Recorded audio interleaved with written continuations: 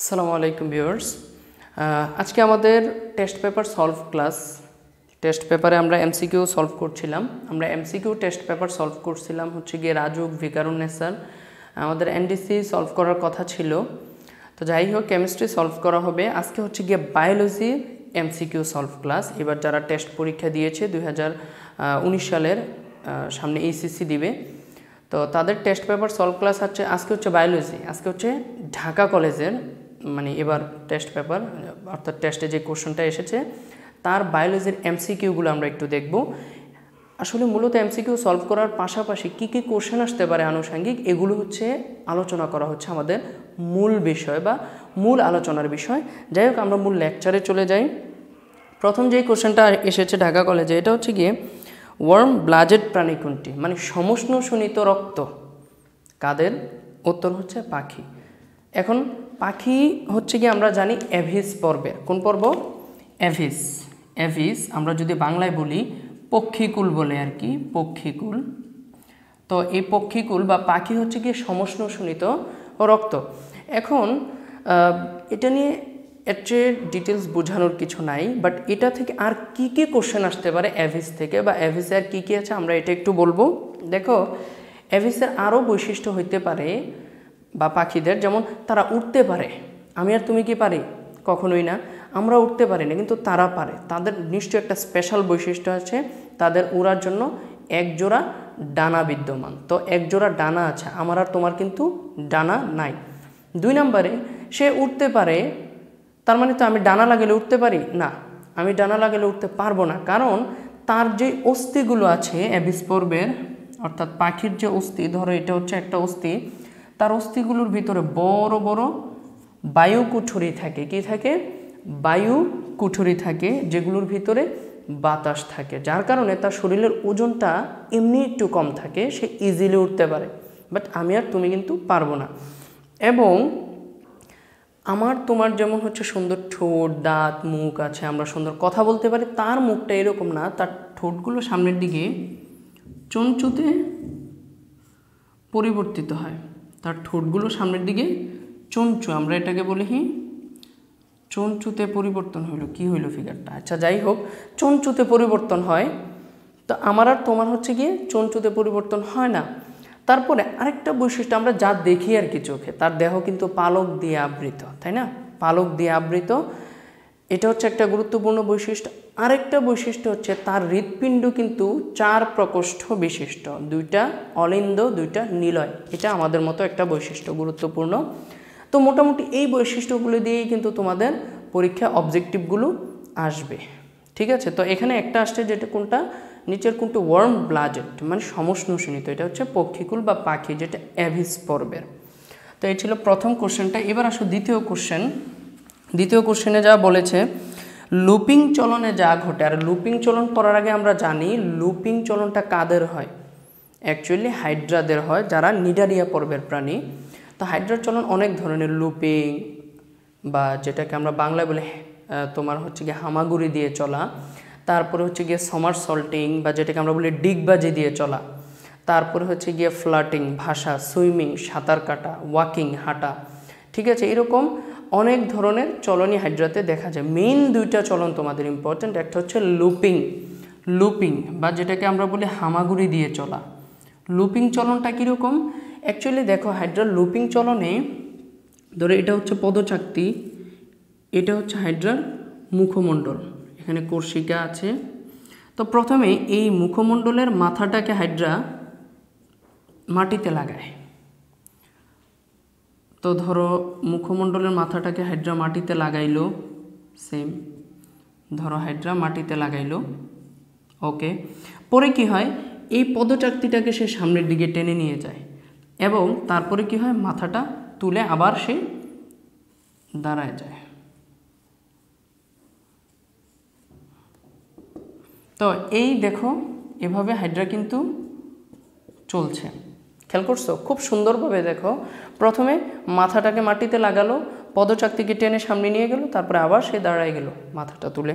তো এভাবে সে কী করল? এটাকে আমরা হামাগুড়ি চলা বলি। এভাবে যায় এভাবে যায় এভাবে যায় এভাবে যায়। তো এটাকে আমরা বলি হামাগুড়ি দিয়ে চলা। তো দেখো, এখানে কিন্তু একটা লুপ তৈরি হইল মাঝখানে, তাই না? তার মানে আমাদের লুপিং পদ্ধতিতে একটা লুপ তৈরি হয় এবং হচ্ছে সে হামাগুড়ি দিয়ে চলে এবং সে সাধারণত লুপিং ল, তাই না? এল দিয়ে ল। ল দিয়ে মনে রাখবা লম্বা দূরত্ব লুপিং লম্বা দূরত্ব অতিক্রম করতে সে এটা ব্যবহার করে। আচ্ছা যাই হোক, আমরা দেখি অপশনে কি কি দেয়া আছে। লুপিং চলনে ঘটে, প্রতি চলনে একবার লুপ তৈরি হয়। আমরা দেখেছি যে এখানে একবার লুপ তৈরি হয়। দুই নম্বরে হচ্ছে গিয়ে ধীরগতি সম্পন্ন। অ্যাকচুয়ালি আসলেই এটা ধীরগতি সম্পন্ন চলন। খুব আস্তে আস্তে যায় এবং হচ্ছে গিয়ে লম্বা দূরত্ব অতিক্রম করে। তার মানে অ্যান্সার হচ্ছে তিনোটাই। ঠিক আছে? এর চেয়ে একটু ল্যাংদি না করি। এখানে আনুষঙ্গিক আরেকটা কোশ্চেন যেটা আসে, এটা হচ্ছে গিয়ে সমার সল্টিং থেকে আসতে পারে। অ্যাকচুয়ালি সমার সল্টিং মানে হচ্ছে হাইড্রাল ডিগবাজি দিয়ে চলন। ডিগবাজি চলা। তো এই সমার সল্টিং বা ডিগবাজি দিয়ে কীভাবে হাইড্রা চলে, এটা এখানে তো একটা লুপ এখানে দুইটা লুপ তৈরি হয়। কীভাবে ব্যাপারটা দেখো? ধরো এটা হচ্ছে একটা হাইড্রা ঠিক আছে? ধরো এটা হচ্ছে একটা হাইড্রা তার এটা হচ্ছে মুখ, মুখমণ্ডল। মুখমণ্ডল না, যাই হোক হাইড্রা মুখের পার্ট বা মাথার অংশ। প্রথমে কি হয়, এটা সে মাটিতে লাগায়। লাগাইলো লাগাই এই অবস্থায় আসলো সে।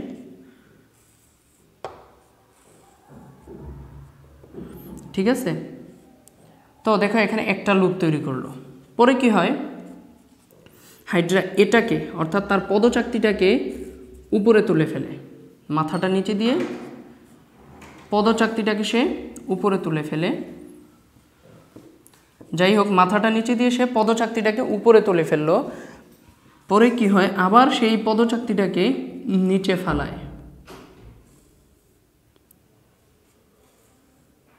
তারপর সে পদচাকতিটাকে নিচে ফালাইয়া তারপর মাথাটাকে আবার তুলে দেয়।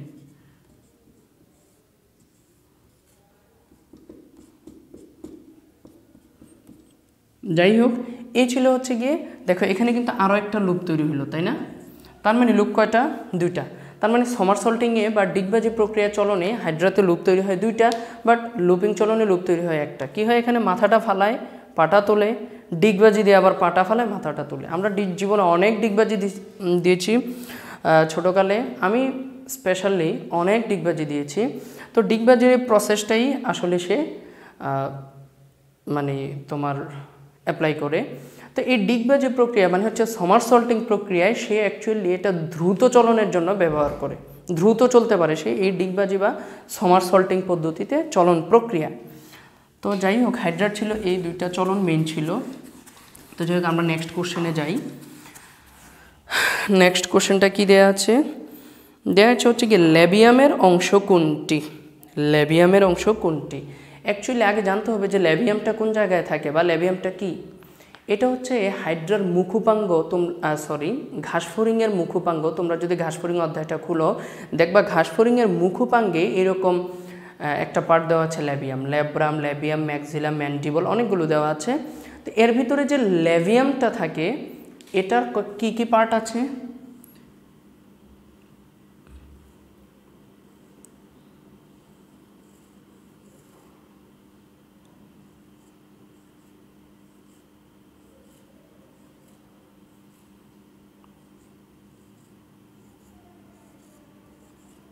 তো দেখো, এইটা হচ্ছে গিয়ে ঘাসফড়িংয়ের ল্যাবিয়াম, ঠিক আছে? তো ল্যাবিয়ামের সবচেয়ে গোড়ার দিকে যেটা থাকে, এটাকে বলা হয় সাবমেন্টাম সাবমেন্টাম, সবচেয়ে গোড়ার দিকে। তার নিচে যেটা থাকে, এটাকে বলা হয় মেন্টাম। তার নিচে যেগুলো থাকে, এটাকে বলা হয় লিগিউলি লিগিউলি। আর দুই দিকে এগুলো হচ্ছে ল্যাবিয়াল পাল্প। ল্যাবিয়াল পাল্প তাহলে দেখো, ঘাসফড়িংয়ের মুখোপাঙ্গের যে ল্যাবিয়াম এর কী কী পার্ট একেবারে গোড়ার দিকে সাবমেন্টাম তার নিচের অংশটা ম্যান্টাম এর নিচে দুইটা লিগিউলি আর দুই পাশে এগুলো হচ্ছে ল্যাবিয়াল পাল্প তো আমার যে কোশ্চেনটা করেছে, এখানে হচ্ছে গিয়ে ল্যাবিয়ামের অংশ কোনটি? এখানে দেওয়া আছে কার্ডো আছে নাকি কার্ডো নাই। তারপর হচ্ছে স্টাইপস স্টাইপসও নাই ম্যান্টাম হ্যাঁ ম্যান্টাম আছে, সাবম্যান্টামের নিচে এটা হচ্ছে কি ম্যান্টাম, তারপর হচ্ছে গ্যালিয়া। গ্যালিয়াও না, তাও এখানে ওইগুলো হচ্ছে অ্যাকচুয়ালি ম্যাক্সিলার পার্ট ক্লিয়ার তো এই শুধু তোমার হচ্ছে গিয়ে কি বলে, ল্যাবিয়ামের পার্ট হচ্ছে এখানে শুধু ম্যান্টামটা। তো যাই হোক, তারপরের প্রশ্নে আমরা চলে যাই। সলভ করার সময় আরও অনেক কিছুই পাবা। আর এর চেয়ে ডিটেলস হচ্ছে কি আমি আমার যখন ঘাস ফরিংয়ের ভিডিওটা আপলোড দেবো, তখন ইনশাল্লাহ পেয়ে যাবা। তোমাদের পরীক্ষার আগেই এই অধ্যায়ের উপর আপলোড হবে ইনশাল্লাহ। তারপরের কোশ্চেন প্রাণী জগতের একদল প্রাণী আছে উদ্দীপক, যারা জীবনের এক পর্যায়ে পানিতে কাটায়। তো প্রাণী জগতে এক একদল প্রাণী আছে যারা জীবনের এক পর্যায়ে পানিতে কাটায়। জানি আমরা সাধারণত ব্যাং যে পর্বের ব্যাং উভচর না, যে পর্বের, সে জীবনের একটা অংশ পানিতে কাটায় আর একটা অংশ স্থলে কাটায়। মানে হচ্ছে কি ব্যাং ব্যাং কোন পর্বের? খেয়াল করে দেখো, অ্যামফিবিয়া। এটা নিয়ে একটা ডিটেলস কিছু বলতে চাই না। তারপরে প্রাণীটির বসবাসের জন্য অভিযোজিত অঙ্গগুলো হচ্ছে গ্রন্থিময় ত্বক, আমরা জানি অ্যামফিবিয়াতে গ্রন্থিময় ত্বক থাকে। ফুলকাযুক্ত হ্যাঁ ফুলকাযুক্ত, দুই জোড়া পদ, দুই জোড়া পদ। আমরা যদি, তোমরা যদি অ্যামফিবিয়া পর্বের বৈশিষ্ট্যগুলো দেখো, তাহলে দেখে যাবে এই বৈশিষ্ট্যগুলো ওখানে আছে। তারপরে আসো, পরের কোশ্চেন রুই মাছের প্রধান চলন অঙ্গ হচ্ছে বক্ষ পাখনা পুচ্ছ পাখনা শ্রুণী পাখনা পৃষ্ঠ পুচ্ছ পাখনা খুব সিম্পল তার লেজের যে পাখনাগুলো আছে, এগুলোই তাকে সামনের দিকে যাইতে সাহায্য করে। যাই হোক, তারপরের কোশ্চেনে যাই। অগ্নাশয় রসে থাকে ptyalin, renin, trypsin, maltase. Answer হবে ট্রিপসিন। ভাই, কীভাবে বললেন? মনে আছে তাই। কীভাবে মনে আছে? কবিতা পড়েছি তাই। তো আমি একটা কবিতা আমার নিজের ফেভারিট তোমার ফেভারিট নাও হইতে পারে, পছন্দ নাও হইতে পারে, কিন্তু মনে রাখার জন্য এই কবিতাটা আই থিঙ্ক হেল্পফুল বা তোমার ব্যক্তিগত কবিতাও থাকতে পারে। অগ্নাশয়ের যে এনজাইমগুলো অগ্নাশয়ের এনজাইমগুলো কীভাবে মনে রাখবা? এনজাইম একটা কবিতা হচ্ছে, কাকা, আমি টিনা ও লুনাকে ফকির করব। টাকা পয়সা সব নিয়ে সব ফকির করে ছেড়ে দেবো আর কি। তো কাকা, আমি টিনা ও লুনাকে ফকির করব। এই প্রথম কাতে হচ্ছে গিয়ে কাইমো ট্রিপসিন। প্রথম কাতে কাইমো ট্রিপসিন। পরের কাতে কার্বক্সি পেপটাইডেস পেপটাইডেস। আমিতে অ্যামাইলেস অ্যামাইলেস। টিতে ট্রিপসিন। নাতে নিউক্লিওটাইডেস নিউক্লিও টাইডেস লুনাতে লাইপেস। ফকিরতে ফসফোলাইপেস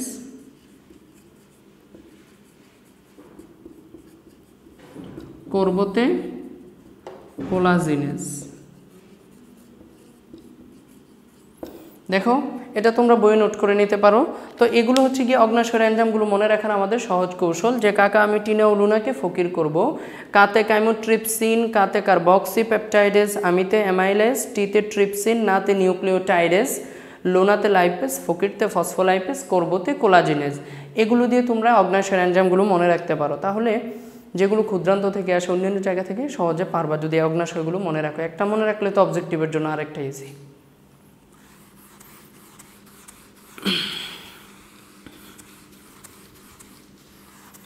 তারপরে আমরা পরের কোশ্চেনে চলে যাই। পরের কোশ্চেন কি বলা আছে?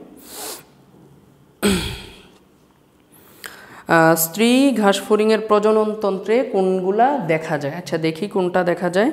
ওভিপোজিটর হ্যাঁ আমরা জানি স্ত্রী ঘাসফড়িং আর পুরুষ ঘাসফড়িংয়ের আলাদা করার যেই মেইন জিনিসটা, এটাই তো ওভিপোজিটর তারপরে হচ্ছে গিয়ে স্পার্মাথিকা, হুম, অবশ্যই স্পার্মাথিকা থাকে। Seminal vesicle, no, seminal vesicle থাকে না। এটা কাদের থাকে? তোমার থাকে, আমার থাকে। অর্থাৎ তুমি যদি পুরুষ হও আর কি, পুরুষের সেমিনাল ভেসিকল থাকে, তার মানে হচ্ছে কি আমাদের প্রাণীতে সেমিনাল ভেসিকলটা থাকে। অ্যাকচুয়ালি ঘাসফড়িংয়ে ঘাসফড়িং প্রাণীটাতে অ্যাকচুয়ালি অভিপোজিটরটা থাকে না। মানুষ আমাদের থাকে সেমিনাল ভেসিকল তো তোমরা যদি প্রজননটা আমাদের দেখো, ওখানে দেখবা যে পুরুষ প্রজননতন্ত্রে সেমিনাল ভেসিকল নামে একটা অঙ্গ আছে। সো এটা থাকে না তাদের। তার মানে অ্যান্সার এক, দুই। তারপরে দশ। গ্যাসীয় বিনিময় ঘটে কোথায়? গ্যাসীয় বিনিময় ঘটে কোথায়? এখানে অপশনে ট্রাকিয়া ট্রাকিয়াতে কোনো গ্যাসীয় গ্যাসীয় বিনিময় ঘটে? না। ব্রঙ্কিউলে ঘটে না লুবিউলে ঘটে না, আর হচ্ছে এলভিউলাস এলভিউলাসে ঘটে ইয়েস এলভিউলাসে ঘটে। অ্যাকচুয়ালি ট্রাকিয়া ব্রঙ্কিউল লুভিউল এগুলো দিয়ে অ্যাকচুয়ালি অ্যালভিউলাসে গ্যাসটা পৌঁছে। তো আমি তোমরা যদি ডিটেলস জানতে চাও, আমার যে শ্বসনের ভিডিওটা আছে, গ্যাস বেপনে ওটাতে দেখো, একেবারে ডিটেলস সব বুঝে যেতে পারবা। এই যে অ্যালভিউলাসটা আছে, এই অ্যালভিউলাসটা কানেক্টেড থাকে হচ্ছে গিয়ে এটা হচ্ছে গিয়ে রক্তনালী, এটা হচ্ছে অ্যালভিউলাস অ্যালভিউলাস আর এটা হচ্ছে ব্লাড ভেসেল বা রক্তনালী। তো কি হয় অ্যালভিউলাস থেকে রক্তনালীতে অক্সিজেন প্রবেশ করে, রক্তনালী থেকে অ্যালভিউলাসে কার্বন ডাইঅক্সাইড যায়। তো এই অ্যালভিউলাসেই মূলত শ্বসনতন্ত্রের গাঠনিক একক এবং কার্যকরী একক। এই অ্যালভিউলাসেই মূলত গ্যাসীয় ব্যাপনটা ঘটে, এর উপরে ঘটে না। তারপরের কোশ্চেন দেখো, পটকা হলো, পটকা কি? পটকা হচ্ছে প্রাণীকে বিভিন্ন গভীরতায় স্থির রাখে হ্যাঁ পটকা হচ্ছে প্রাণীকে বিভিন্ন গভীরতায় স্থির রাখে, তারপরে হচ্ছে গিয়ে অন্য নালীর সাথে যুক্ত থাকে হ্যাঁ অন্য নালীর সাথে যুক্ত থাকে, স্ট্রাকচারটা যদি বইয়ে দেখো পেয়ে যাবে, শব্দ সৃষ্টিতে সাহায্য করে। রুই মাছ অধ্যায়ে যাও, দেখবে এই তিনটা বৈশিষ্ট্যই আছে। শব্দ সৃষ্টিতে সাহায্য করে প্রাণীকে বিভিন্ন গভীরতায় ভাসিয়ে রাখে এবং সে অন্য নালীর সাথে যুক্ত থাকে। আর তাছাড়া এক্সট্রা কি লাগবে আমি এটা বলি? অ্যাকচুয়ালি মাছের প্লবতায় সাহায্য করে। অর্থাৎ মাছকে বলল না, বিভিন্ন গভীরতায় ভাসিয়ে রাখতে। কীভাবে সে মাছের প্লবতাটা কমায় দেয়? তো এই কমায় দিলে সে কী হয়? ভেসে থাকতে পারে। ঠিক আছে? এর সাথে এক্সট্রা যে জিনিসটা তোমাদের আসে, এটাতে কি কি গ্যাস থাকে? Oxygen, nitrogen gas. Mainly oxygen gas থাকে, নাইট্রোজেন গ্যাস থাকে। তো এ হচ্ছে গিয়ে মানে রুই মাছের পটকা। হুম? রুই মাছের পটকায় এই গ্যাসগুলো থাকে এবং হচ্ছে গিয়ে তার এই তিনটা কাজ, সাথে ওই প্লবতার কাজটা আছে। তো যাই হোক, এই তোমার পটকার কাজটা পরে ফেলবে, এটা সৃজনশীলে অনেক সময় এটার কাজে আসে। তারপর হচ্ছে গিয়ে একটা ফিগার দেওয়া আছে, ফিগারটা তোমার দেওয়া আছে, তোমরা দেখো। এটা হচ্ছে একটা নেফ্রনের ফিগার দেওয়া আছে, এরকম। ফিগারটা আছে এরকম।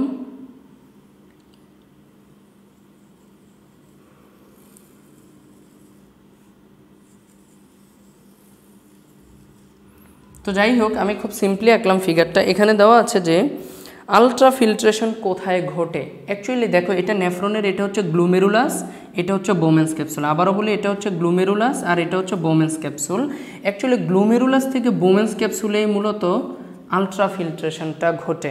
তো এখানে দেখো, কোন অংশটা ওইটা দেখাইছে দেখাইছে পি পি অংশটা টান দিয়ে গ্লুমেরুলাসটা বুঝাইছে। তার মানে হচ্ছে পি অংশে আলট্রা ফিল্ট্রেশনটা ঘটে। তাহলে অনু আনুষঙ্গিক আরও কিছু দেখাই দিই। যেমন হচ্ছে এখানে তোমার হচ্ছে এই এই এতটুকু অংশ এটা হচ্ছে গিয়ে প্রক্সিমাল পেঁচানো নালিকা। এখানে ঘটে হচ্ছে গিয়ে তোমার নির্বাচনমূলক পুণ্য শোষণ। আর এই দূরবর্তী পেঁচানো নালিকায় এখানে ঘটে হচ্ছে গিয়ে সক্রিয় ক্ষরণ। ক্লিয়ার তার মানে মূত্র তৈরির তিনটা ধাপ বিজ্ঞানী কুশনী বর্ণনা করেন আলট্রাফিল্ট্রেশন নিকটবর্তী পেঁচানো নালিকায় তোমার নির্বাচনমূলক পুণ্য শোষণ এবং সক্রিয় ক্ষরণ দূরবর্তী পেঁচানো নালিকায়। ক্লিয়ার তো এই তিনটা জেনে রাখো, সাথে হচ্ছে গিয়ে তোমাদের কিউ আর এস টি এর ক্ষেত্রে কোনটি প্রযোজ্য? Q R S T Q R S T এটার ক্ষেত্রে কোনটা প্রযোজ্য? দেখো কিউ কি? তোমরা ফিগারটাতে দেখো কিউটা কি? কিউ দিয়ে তারা কি বোঝাচ্ছে? কিউ দিয়ে তারা বোঝাচ্ছে হচ্ছে কি এই বোমেন্স ক্যাপসুলটা। কিউ দিয়ে বোঝাচ্ছে বোমেন্স ক্যাপসুলটা। তারপরে তারা বোঝাচ্ছে আর দিয়ে দেখাচ্ছে এই প্রক্সিমাল পেঁচানো নালিকা। এস দিয়ে দেখাচ্ছে হচ্ছে গিয়ে তোমরা, তারা দেখাচ্ছে হচ্ছে হ্যানলির লুপ। হ্যানলির লুপ। টি দিয়ে দেখাচ্ছে দূরবর্তী পেঁচানো নালিকা। তার মানে এখানে অ্যান্সারটা হবে তিন নাম্বারটা। বুমেন্স ক্যাপসুল, প্রক্সিমাল পেঁচানো নালিকা হ্যানলির লুপ, দূরবর্তী বা ডিজিটাল পেঁচানো নালিকা। তার মানে কিউ আর এস টি যেটা আমি দেখালাম মাত্র। তো এটা হচ্ছে গিয়ে আমাদের তেরো নাম্বার কোশ্চেন এবার আমরা চোদ্দ নাম্বার কোশ্চেনটা দেখব। চোদ্দ নাম্বার কোশ্চেন হচ্ছে কোনটি মোটর স্নায়ু? আচ্ছা যাই হোক এগুলো নিয়ে আরও একটু ডিটেলস আলোচনা আছে, কোনটি মোটর স্নায়ু বা কি। এটা আমরা আলোচনা করব হচ্ছে গিয়ে নেক্সট পার্টে তোমরা নেক্সট পার্টে দেখো, আল্লাহ হাফেজ।